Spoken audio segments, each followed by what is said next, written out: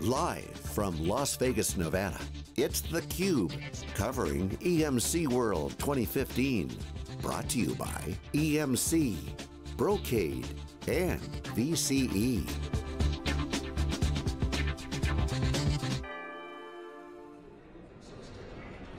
Welcome back to SiliconANGLE TV's live coverage from EMC World 2015. I'm Stu Miniman with Wikibon.com crowdsourced and open sourced analyst firm, been around for eight years. Really excited to have a you know good friend of the show, been on many times, in a new role, and in a hoodie. Brian Gracely, Senior Director of EMC Code. Thanks for coming back, Brian. Thanks, Stu. Thanks for having me. It's good to be back. I think it's been a couple of years maybe now. It's, uh, wow, so I mean, you were actually on the first show we ever did in the enterprise, which was EMC World 2010. Um, you've had a bunch of roles, but it's funny, I think of EMC World when it first started. Yeah. You were years of Wizards and EMC Technology Summit. I mean, I worked at EMC back there, and I'd come in in a logoed polo and khakis, and that was kind of the uniform for all the techs here. Right. And I remember Joe Tucci said, if you're wearing a tie, you know, get out of here. And now, we've got a lot more suits that come in from the executive side, but you and your team are also bringing in the hoodie community. Yeah, so yeah, I guess we're bringing in the hoodie community. Yeah, it's crazy. We uh, when when Jeremy Burton first asked me to go look at this thing, one of the first meetings I had to have, I had to go sit in front of his staff. And you know, I, I asked Chad, I said, if I, am going to go do this, and I, if, if I want to figure out if they're committed to this, I'm just going to show up in a t-shirt and jeans, and he was like, go for it, because if they, if they get a rash, you probably know what kind of support you're going to get. So yeah, we're, we're trying to, we're trying to fit in, and that, that's really it. Fit in with what, what the communities look like, yeah. and then contribute code so you're, you're legitimate. So to get into the executive boardroom, there wasn't some center that you know blocked you out there they, if you didn't have proper attire. They probably thought I was lost. Yeah, they probably thought I was lost. Yeah. Uh, so uh, for, for those of our audience that haven't heard, can you talk a little bit about you know what is the EMC Code project and uh, you know what, what what's your team's initiative? Yeah. So EMC Code is uh, it's a group that's put together to focus on um, EMC's contributions to open source, um, how we engage with open communities, um, trying to get the, the larger EMC community to start contributing projects back. So it's a it's a, it's a small group, we're about 10, 12 people. Um, we're focused on not only wrapping sort of DevOps and, and, open source technology around EMC technology, but also going out and making contributions to uh, Docker and CoreOS and, and a lot of the sort of modern infrastructure, if you will, um, and trying to be relevant in that space. Yeah, and you had, uh, talk a little bit about, you had a half day event to kick off EMC World. Uh, Steve Chambers from Wikibon uh, attended it, said it was phenomenal. He's been asking all of the practitioners to come here, you know, how does DevOps fit into it and, and what's doing, so give us the highlights. Yeah, so we, we hosted an event, um, so there's a, there's a whole series of events that are called DevOps Days. Uh, there's a DevOpsDays.org, and we reached out to them and we said, we want to host an event that's really the space that we want to go after, sort of DevOps, uh, you know, modern operations. They gave us a lot of guidance, how to host them, and, and basically it was uh, a lot of learning. No sales, no hard pitches, it was folks from Chef and Puppet and Pivotal was there, uh, my team gave a talk, uh, VMware was there talking about their open source yeah, work. Intel. Uh, Intel was there, LinkedIn was there, Dropbox, so really great guests. Uh, we had folks, we had about 300 people in attendance, I think we had about five, 400 register or something, which was blew away our expectations. Um, but but people loved it, and people said, "I hope you give us more of this." Uh, we'll see what happens next year, but it was yeah. uh, very different for us. All right, so so Brian, in general, this is an infrastructure show here. Sure is. Yeah, I've heard is. this term that gets thrown around a lot: infrastructure as code. Mm -hmm. I'm wondering if you could, you could explain really what that means. So, at the most basic level, um, so if you're a, if you're an application team uh, everything you do is code, and, and how you manage it, it has a very structured model to it. So I write software, I put it in a software repository, and there's a bunch of tools that will do testing around it, right?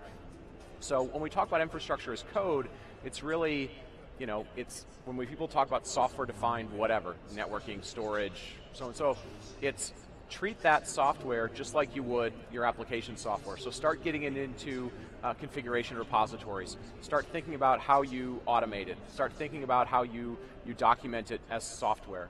And, and that's the beginning stages of it. When people start talking about DevOps, it's really, you know, there's a lot of culture there, there's a lot of collaboration, but it's, are you beginning to sort of think in similar patterns? Are you starting to think about how actions that the development team takes impacts operations and, and vice versa?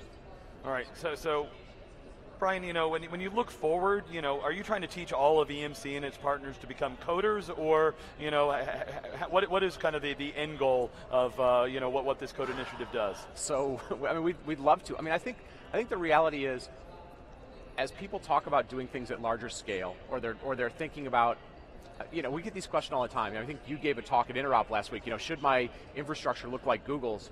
Well, maybe, right? And but but if you take some of the best practices they have, um, they treat their infrastructure as if it's software. They automate a lot of things. They do a lot of things consistently.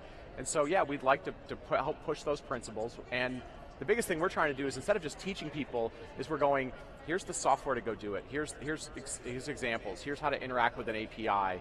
Uh, here's you know how to uh, you know put things in Docker containers. Here's how to deploy them across multiple clouds.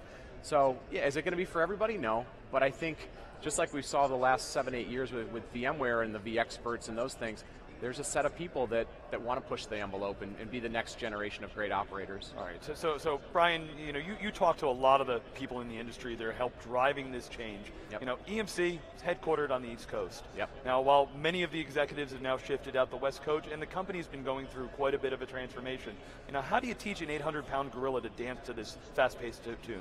Yeah, that's totally fair. So the biggest thing that we found is uh, we don't do anything in PowerPoint. Everything we do is I'm going to give you examples. And we've been trying to just sort of push this culture that, that shows the company uh, it's okay to publish things open source. It's okay to, to want to collaborate with open communities. What, what's been really interesting is I mean, we had to break a lot of glass to make some of this EMC code stuff happen and get stuff publicly done. We've had teams from the backup and recovery group give us projects that are now in open source. We've had the VMAX team come to us and go, we held a hackathon like three weeks ago and we've got a, a bunch of things that come out of that. It's actually been a little easier than we thought. There's been a lot of people that sort of went, the door's open a little bit, I want to do that. There's developers that want to showcase what they do. Uh, there's people that think some of that new technology is cool, and um, so yeah, it's still a little bit tricky, uh, but it's it's actually more things are happening than we expected to happen this pace. Yeah, so uh, you, you, and I have also been involved a lot into kind of the blogging community, social yep. media. Yep. Um, you know, change is hard, uh, you it's know, on, on, these kind of things. How do you get people to kind of get out of, you know, kind of their blinders, look at the world, you know, doing what they're doing and, and embrace some of these, uh, you know, new ideas? Yeah, so, you know, I think for anybody for change, the biggest thing is, is two things. Are you, are you willing to commit the time? And then, you know, show, show me somebody else that's done it. I don't want to be the first one. So we've been, you know, with the, the, few people that we have on our team that are evangelists, we've been trying to get them to talk about not only what they built, but how they got there. And and everybody that's on my team at one point was a was a VMware admin. They were a VMware expert. None of these none of these folks were like, hey, I'm right out of you know computer science school. I grew up in the valley. That's all I do. Yeah, or they're, they're, not getting ex Google, Facebook, you know, no, Twitter people. It's, you, you know, know, but you know they've spent some time. They've, they've stretched their you know they've, they've grown some new muscles. They've stretched some muscles. We're trying to give them examples. Um, the biggest thing for me is, and, and I'm you know 40-ish. I have a lot of people that come to me and go, I see where the industry's going. I got another 20 something years, and you go, good. Here's a starting point. You know, just start here. You know, are you going to write the next great application? Maybe not, but you know, baby steps, baby steps, and, and they. We're seeing more and more people do that in storage, in networking, in DevOps, all those sort of areas. All right, so you're getting towards the end of the EMC world. Yep. Other than your event, uh, you know, what have you seen across the show that, that, that kind of jumped out at you? Um, so, you know, obviously I, I'd be very interested in people's reaction to us open sourcing, uh, you know, CoprHD. Um, you know, I, it's funny, I was watching some of your videos from a year ago. Uh, Jeremy talked about it. I sort of hinted around at it because they did a free version and he said, well, we internally want to open source this. So there's some culture of that happening, um, and people aren't freaking out and, and, saying. For us, the biggest thing is we, we ran a, a booth in the solution area that was called Open at, at EMC World, and it really it was us, but a lot of gathering. There have been so many people coming through there going, I want to work with the teams that do continuous development. I want to work with the chefs and puppets and Xebia Labs and people asking about OpenStack. There's a there's a demand for that stuff, um, and there's but the biggest thing is people are going, how do I do it? Not not skepticism, and and I think that's a good it's a good problem to have for us to help people you know kind of solve and, and teach them.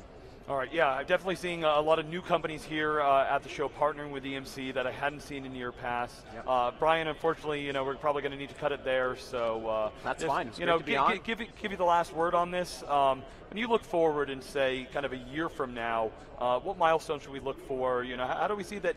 You know, how do we measure that EMC is actually making progress to have credibility in the open source community? So it's, you know, in, in this world, code counts. So if we're not making contributions to the big container, eh, to, to basically all the big infrastructure areas, containers, OpenStack, uh, cloud automation, if we're not making active contributions, if we're not actively making our software far less frictionless, uh, then we failed. And if we're doing that a year from now and doing it very well and you know, we've got a thousand people at DevOps Day uh, EMC, then, we'll, then, then we're making progress. Um, Great, and what's the website for EMC Code? Uh, emccode.github.io. All right, excellent. So GitHub is the center of the universe for the developers. Uh, most of you know that. If you don't, you probably should. So uh, thanks so much, Brian, for joining. We've got lots more coverage here coming from EMC World as we wrap up in the third day of two cubes, wall-to-wall -wall coverage. I'm Stu Miniman. Thanks for watching.